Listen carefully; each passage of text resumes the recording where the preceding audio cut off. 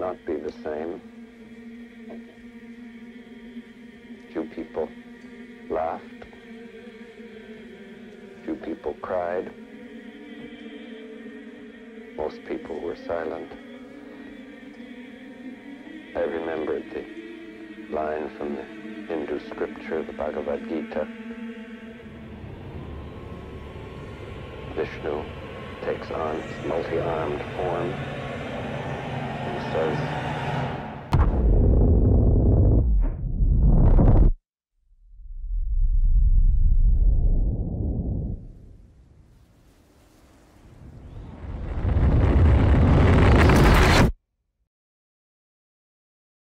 I am become death, the destroyer of worlds.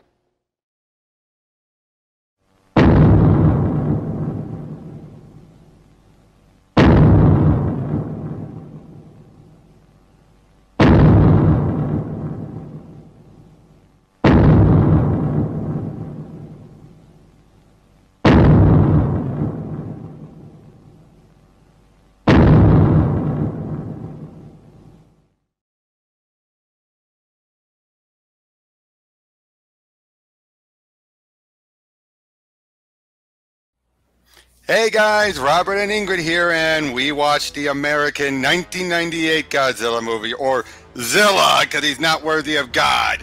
Do you agree with that sentiment? I mean, yeah. It. This was not a Godzilla movie at all. Maybe except the opening bit. The opening bit felt very much like a Godzilla movie, didn't it? Was the um, um, you know, all the mysterious opening and all that stuff, and the stuff at the docks felt like a Godzilla movie. Mhm. Everything else felt like a generic giant monster movie. Yeah. The only reason they made it Godzilla was it was a nuclear rea- you know, nuclear ov- nuclear bomb created oversized lizard.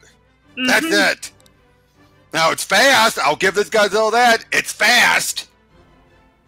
And heck, Mhm. I would have accepted all of it if it kept the two hallmarks: his indestructibility and his fire breath. We didn't get either here. Mm-hmm. So the movie basically, yeah, giant lizard. Um, and a you normal lizard is mutated, or iguana is mutated into a giant monster, and it feels the need to breed now. So it comes to New York, runs around, and really, actually, it's the military that does more damage than the monster itself. Yeah, which is weird. Especially for Emmerich, who was usually very, you know, pro military, pro everything else. Why would he make it a joke? This is the guy who did Independence Day, for Christ's sake. And look how well respectable he was there. And then here, whoopsie, you just shot down the Chrysler building. What do you else? What do you got to say Was it? Hmm. Like, what about the human plot plot of it? I say it's the dumbest, even compared to a lot of, not all of, but a lot of the low bar um, Japanese version. Wouldn't you agree? I just kind of zoned out during a lot of it, honestly. Yeah, I bet. Uh, it's God. And then I mean, and then you would stretched it out to the length with that pointless raptor sequence. Yeah, it's just like, I mean, yeah, okay, you see all those eggs, you're like, oh shit. hmm. But you didn't need to have them hatch and repeat the raptor stuff. Especially, it's like, where's Mama? Where's Mama? And then Mama shows up after everything's blown up, and then, now of course that gives good motivation for the ending and everything, but it's like, again, this just felt so generic. It, that's what you just say. That's what this is, generic monster movie. Yeah, generic monster movie that just so happens to have the name Godzilla slapped onto it. Yep. Uh, just one sec. Just, uh, no, no, never mind, never mind. But um, yeah, and it's just, uh, you know I mean.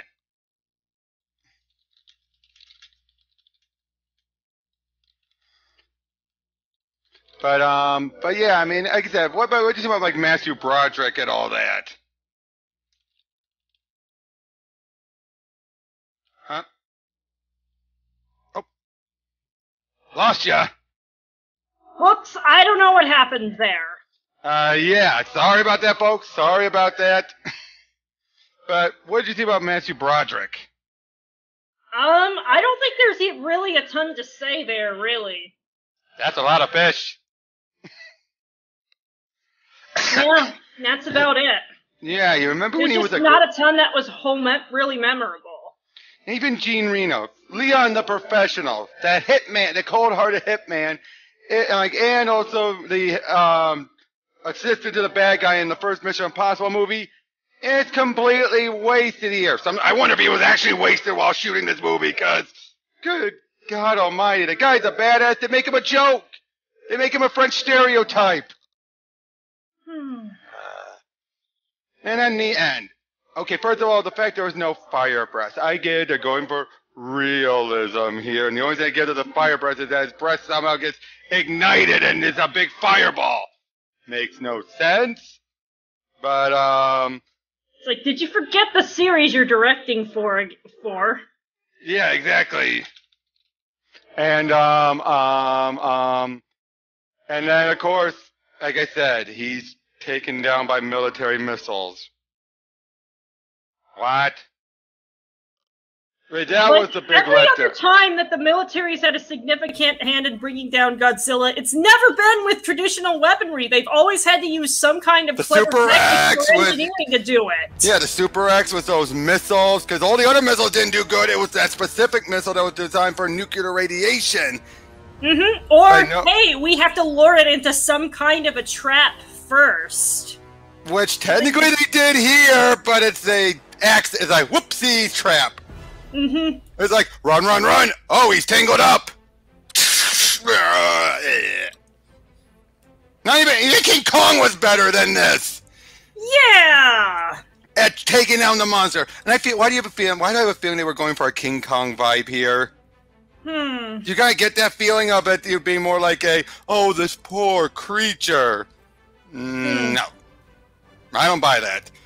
No. Oh, by the way, by the way, there was a bunch of Simpson cameos. Hank Azaria is the camera guy. You had um, Dan Krasner say, "I want this big story," and then the secretary, that's um, Nancy Cartwright, saying, "I think your big story just went by your window." Hmm. That Yeah. was one of the few lines from that movie that I actually remembered. Yeah, exactly. And how the hell did the camera guy survive being stepped on? Hmm. But overall, we give it like a five, five point five. Mm-hmm. Is that Because good? there certainly have been worse disasters, but this one's probably biggest flaw is just being completely forgettable. It took the god out of Godzilla. hmm But, but we will be at a, la- a later point, but it'll be in this in this particular video, watching the first three episodes of the cartoon series, which most people said was a light years better, and the mm-hmm. three-part Monster Wars, which is basically a throwback homage to Destroy All Monsters and a little bit of Mecha Godzilla. Yeah, I hope that'll do a bit better of a job to salvage this. Oh, trust me, the monster's much tougher and it has the fire breath already. It's better than Mama. Aha, I see. And to give people a bit of a tease, you, uh, you, I already watched like long ago, so I'll rewatch it later. But you just watched the first part of the Godzilla anime. Want to give people a tease on what you thought? What the hell was that movie? exactly. Like, I haven't brought that one out in a while. Mm-hmm. But this one, it's more like a not like a what the hell did I just watch? Like we jokingly did for Space Godzilla. It was more of a this is so pretentious and It's just like, this is so pretentious and edgy that I'm not sure they remembered what series they were directing for for a different reason. I know, and the animation was great. No, this is just a tease we're giving. We're not going to take any Mhm. further. Yeah, I'll it's just say- like I the animation was so good that I wanted to like it, but it's just the writing was just complete crap. The acting was fine. I would say that the English acting was fine. Oh, oh wait a moment. hmm Yeah, it's just like the acting was fine, the actual animation was fine, The but twist what was were they good. The- doing the- with that script? the twist was good at the end. hmm Yeah, what, what were they doing with that script? It's just like I miss the campy Showa aliens right watching this right now. Can we at least have one of those back? Unfortunately, I thought I'd say that. Unfortunately, it's going to get worse, much oh, worse. Almighty. It's the next one. It's going to be it's going to derail. There's a reason why I wanted to do our Mechagodzilla retrospective beforehand because it's going to derail our high record, our perfect record for it. and then the Ghidorah stuff is going to be one of the most boring ass monster fights, if you'll call it a fight. Oh dear. Yep. But that's for a later date. So we're not going to do a full sign off yet because right after, and we're going to more just cut off because the next video part of this video will be us afterwards once we see those five episodes. So we'll just see and see you guys on that side. Hey guys, we're back. This is just a little addendum to our Godzilla review uh, and um, the 98 movie as we talk a bit about the anime series. Now, we didn't have time to watch all of the episodes. So I oh, just selected. Boy, we definitely didn't. So I selected just some of the highlights, which were basically the two-part pilot and the three-part Monster Wars. And I saw these long ago, rewatched them recently, and Ingrid just saw them for the first time. So Ingrid, after seeing 98, well, first remind people, where do you stand on 98 as a Godzilla movie? 98 was just kind of generic. It was just kind of okay. I'm not even sure it really felt like a Godzilla movie. Just it felt like Zilla. Monster movie without with Godzilla's name slapped onto it. It felt like Zilla. Mm-hmm. But what did you think about the show from what you saw those five episodes? It definitely felt a lot more to form with classical Godzilla. Like Godzilla actually felt like a threat.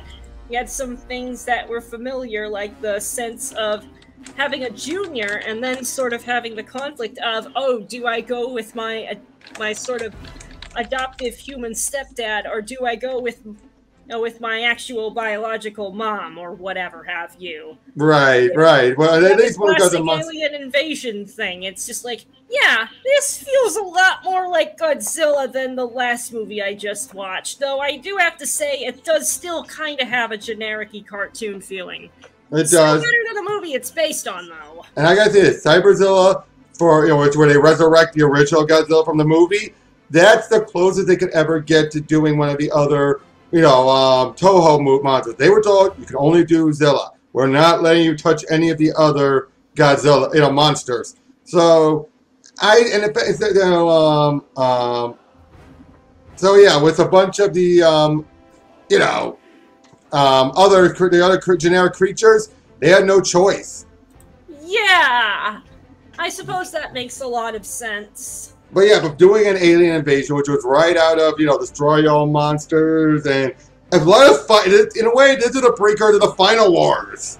Yeah, it kind of is. Uh, but with a much better final boss. Oh yeah. But um, but yeah, just having be that Junior beats down on you know da- on mommy or daddy, whichever, since you know technically it doesn't matter what sex it was. Mm-hmm. Um, and I got, and you know, the main human characters were fine. It just felt so good to see Godzilla being a bit of a hero fighting other monsters. Mm-hmm. Which is like this is what Zilla should have been. Mm-hmm. So, I mean, this one's going to be a short. Like I said, it's just an addendum for to the video. But overall, though, I do think that this show really helped redeem Zilla. And this is why they say, a lot of people like to say, it put the god back in Godzilla. Yeah. For this version, and this is like, there was rumors of people say that this is what made Toho much more happy about the property. I haven't heard if that's been confirmed or not yet. Sounds more like fan speculation, but but but yeah, though, what can you do? But overall, though, I think the show was good. Got cut way too soon due to executive meddling, unfortunately. it's the same story every time, isn't it? Yep, same, same, same songs. Um, what, what's how the phrase goes? Same, same tune, same as the oh, same verse, same as the same verse, same as the first. A little bit louder, a little bit worse. Yep, exactly. But yeah, that's what we have to say on God's on the Godzilla cartoon. And again, it improved so much from the movie. So at least we're ending this video on a high note. Mm-hmm. So, yep, we'll catch you on the next one as we start entering into the Millennium Era. Catch you guys then.